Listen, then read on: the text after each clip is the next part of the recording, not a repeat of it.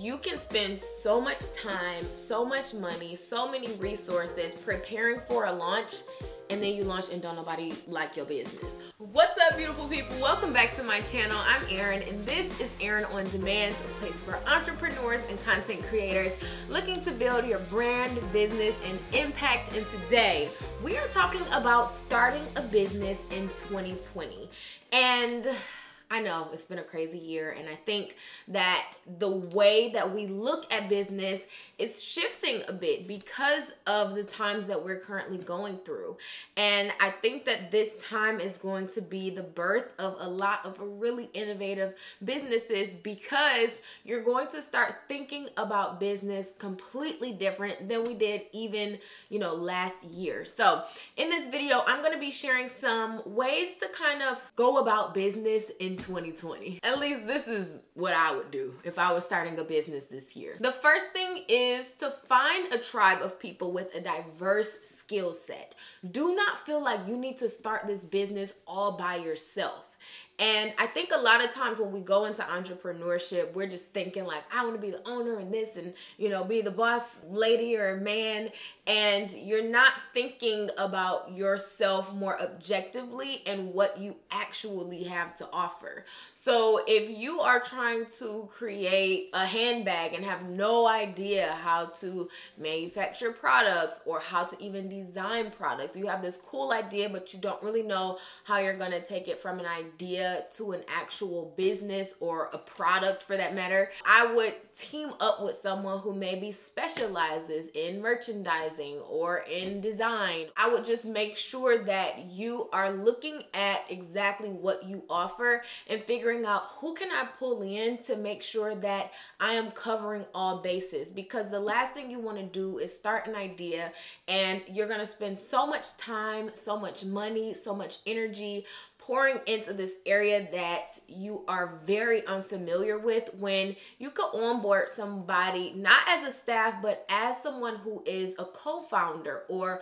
who has another founder or C-suite position that can really help you get the business off the ground. So I would definitely say now you can save a lot and gain a lot by partnering with people and this is not just for 2020 but anytime you are starting a business, I think that you have to look at yourself completely from an objective standpoint and say, okay, where may I have some holes and how can we fill those holes?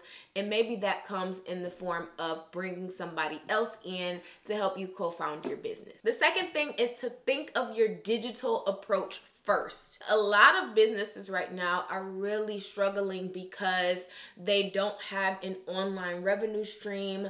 Um, and, you know, it's really hard to kind of have a certain like primary stream of income and now that's taken away and how can you kind of shift this into getting people to engage with your business online taking an online approach first is the most important thing that you could do for your business moving forward. I've seen a lot of hairstylists selling hair kits from different products that they may use on their clients and pairing that with a tutorial um, that that's kind of like a bundle for maybe the type of styling or the type of treatment that their clients typically get. I'm also seeing different photographers taking digital photos of their clients, like literally having Zoom photo shoots and editing pictures.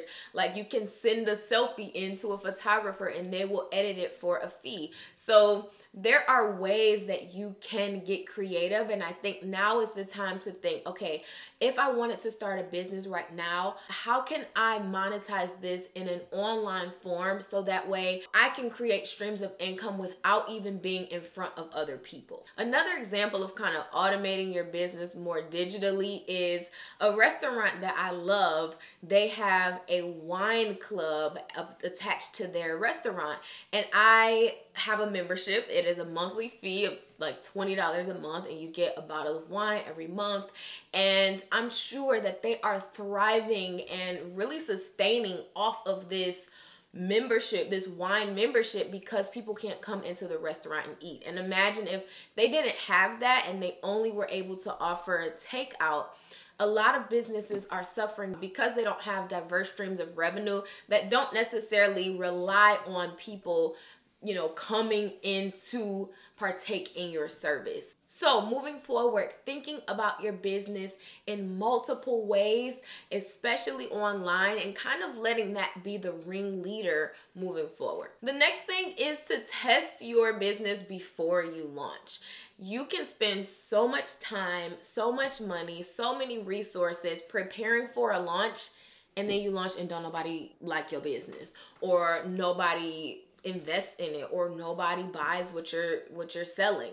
And so you want to test it out. If you are starting a clothing line, how can you get some samples of that and put it on people and see are people responding to this? Or if you do have an app, maybe create an Instagram for the app and create a landing page for it before you hire an app developer and see is this even something people are clicking on or is it generating traffic? Are people submitting their emails? Are people even showing interest? I think that it is extremely extremely important right now to vet your business before you go full force with investing tons of money, time, and energy into it. And also, when you're testing things out, stir up conversation, get people talking, figure out what problem you're solving for them, and use those triggers as ways to start conversations so that your audience feels like this product or this service or this whatever is really going to help me. And I know that I will get value out of it just because I can already tell um, from these mental triggers that it's something that I would like to partake. The next thing is make media a priority. And a lot of times we just kind of let our social media go or we don't invest in paying for advertising or we just completely neglect the marketing of our business and i think that that needs to be one of the first things you consider when you sit down and you think about how your business is going to go and the marketing part is probably the most important because if people don't know about your business, you're not going to make money. So you want to make sure that you prioritize media. If you have no idea how to talk on camera or how to send a tweet or how to do any type of social media, I would definitely say you need to be vetted in that and understand the psychology of your audience. What are they thinking? What are they looking for? And really start to try to etch out how you're going to tackle your marketing strategy.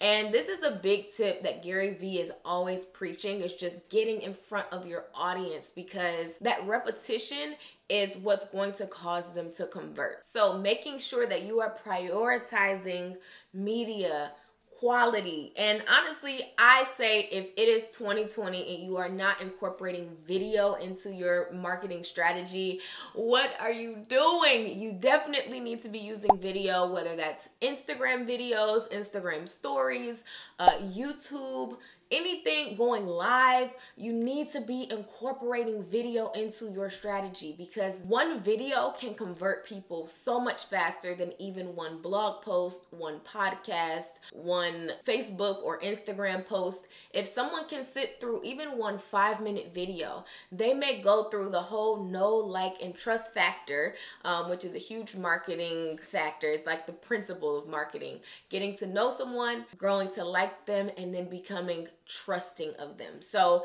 you want to take them through that process, and video is the fastest way to get them there. That is when you can sell to them once they get out of the no like trust phase. So once they trust you, they buy. And video, you guys, please include video in your marketing when you are launching a business this year, or even if you've already launched, do some video. And my next tip is to start simple. Do not overwhelm your audience with a ton of stuff, um, a ton of products that you're releasing, even if you're releasing like an online clothing boutique. Start with one product, one color, one saying, one option so that people, you know, maybe this is your flagship option. And for us, I have another business called Black and Goald. It's spelled G O A L D, and it's all about just pursuing your goals relentlessly. And when we first launched we had thought of all of these cool ideas for black and Goald, but I was like, no, we are releasing one design first because we are not giving people the option. And so we did one color of our classic, and that is the one that everyone knows us for. That's the one that everyone still wants, no matter how many designs we release. But the thing is, when you start with one, you only give people one option. When you start with 10, you give them the choice. And so they may say, well, I like the cream version better than all of the others so they only buy one. And now they may not come back for another sale. When you start with one thing one problem you're solving one shirt you're designing one app you're developing with one main feature, one aspect of your coaching, like one service that is your flagship service. When you start with one, that is really how you get to upsell people because now once you kind of establish that, you release something else. So now, you know, three months later, after we had been selling the main design, people started asking, well, what, what else do y'all have? Like, I want to buy something else. So we released another design and a lot of the people who bought the first design bought the second design and they still continue to support us because we don't overwhelm them. We release one thing at a time. And sometimes something so simple can make such a big difference in your sales. So even when you're looking at it from a service perspective or a product perspective, try not to have too many options for people when you start your business. Give one main thing that you are driving them to constantly from all of your platforms. You're driving them to one thing because it's going to help create clarity around your brand and it's going to help convert people into actual paying customers or clients. Now, I wanted to do this video because my business really hasn't been impacted severely by everything that's going on right now. And I think that's strongly because everything I do is online. And so it has really given me an opportunity to help other people um, figure out how to go about managing and shifting, maybe shifting some of the gears in their business to be more digitally friendly and monetize in ways that maybe you didn't think of doing before. So if you are interested in booking a strategy call with me to figure out like how can I tackle this business in 2020, um, you are welcome to do that. I will leave all of the information in the description box below. I just want to end with the fact that in the last recession, in 2008 2009 that's when a lot of huge businesses were built i just want people to know that this is a good time. You know, this is a great time to now be creative and kind of recession proof your business if you launch it right now. I think you do have an advantage of thinking of ways that you can monetize your business to be able to withstand times like this. So don't let this scare you from starting your business. Let this motivate you and honestly, let this inspire you to think of some creative ways to roll out your business and maybe to generate some streams of income that you wouldn't have thought of had this not happened. So I love you guys. I hope this was encouraging for you. In the comments, I want to know what kind of business are you starting in 2020? And if you want to be a part of my internet home, all you have to do is subscribe. I would love to have you here. I upload every Wednesday and most Sundays and we talk all about entrepreneurship, social media, and just living and owning your life. So if that's what you're interested in, welcome. And I will see you guys on the next one. Love ya.